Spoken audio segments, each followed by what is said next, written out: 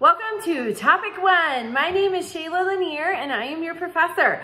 So today, before the end of the day, be sure and fill out your summary of current course knowledge. That just gives me an idea. What do you know? What do you not know? What are you worried about? Most people worry about the time requirements of the class and they are intense. There's a lot of reading. One suggestion I just preach like crazy because it works so well for me is I get up 30 minutes earlier. And even just those 30 minutes, 30 focus minutes in the morning make a tremendous difference because then when I get to the weekend, it's not an overwhelming amount. So that's just a, a helpful suggestion from me. All right, also by Wednesday, your class introductions. That's my favorite. I get to know you and, and that for me, I really love that. So I look forward to those. Also on Wednesday, this week we talk about immigration and migration. So obviously when the colonists showed up. Um, this land was already inhabited. It was inhabited by the Native Americans. And the colonists just sort of pushed them.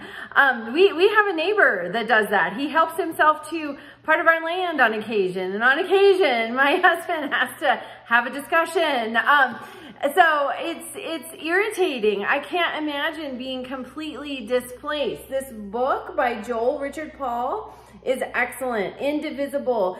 And it talks about sort of the attitudes toward the Native Americans. So it says in 18, on page 142, it says in 1802, the state of Georgia agreed with the Jefferson administration to cede certain Western land to the federal government in exchange for a federal promise to purchase tribal land within the state's boundaries to be used by the white people of Georgia.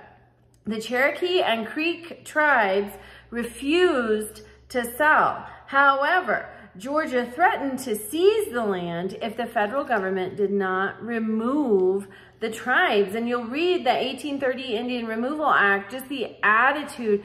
These were people's homes, livelihoods, farms, and just the idea of them being removed. It, it's so much tragedy. And that's part of the study of history is we have to look at the bad, the painful, the good, because we need the whole picture. So there are some hard topics in this class. Um, if you're struggling, please reach out to me. But your first response, your initial response to discussion question one is due Wednesday.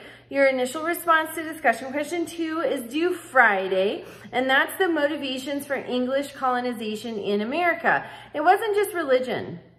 England had a system of inheritance that involved land. England is not huge. they were running out of land. So the New World offered an opportunity for nobles to have land.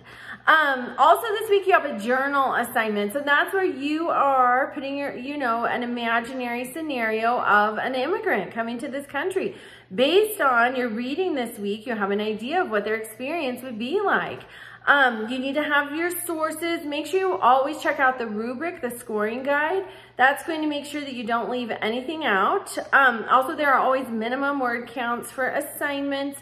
And um, then you have a quiz. Now, participation. Those are six interactive discussions, um, discussion responses with your peers. They are not, um, the six does not include your first initial responses to the two discussion prompts. So keep that in mind. Reach out to me with any questions and have a great first week. Welcome.